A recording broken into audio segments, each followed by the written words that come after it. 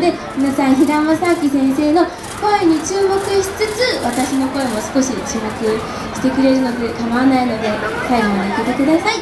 それでは花形の手紙聞いてください。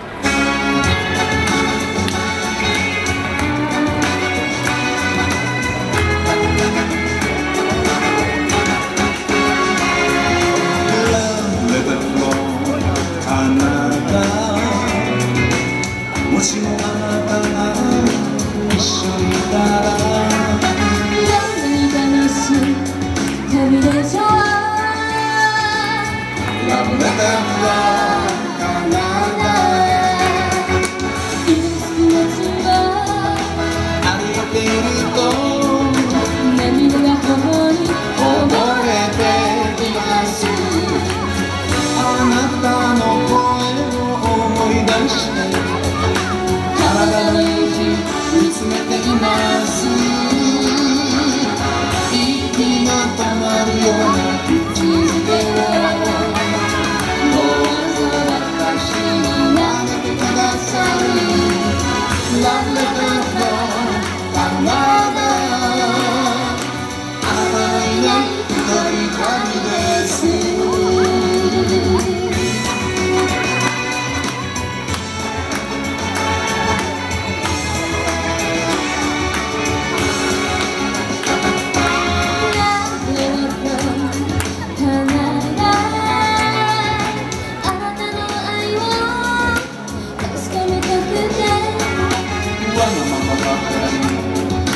ました。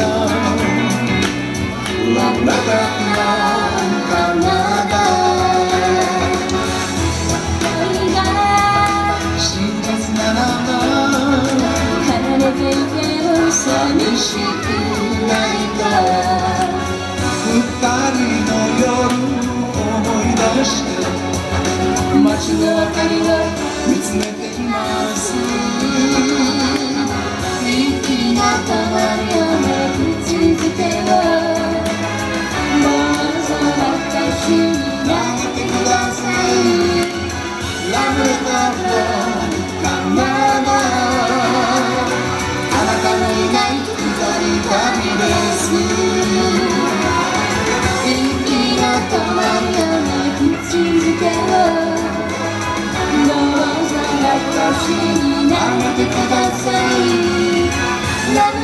love.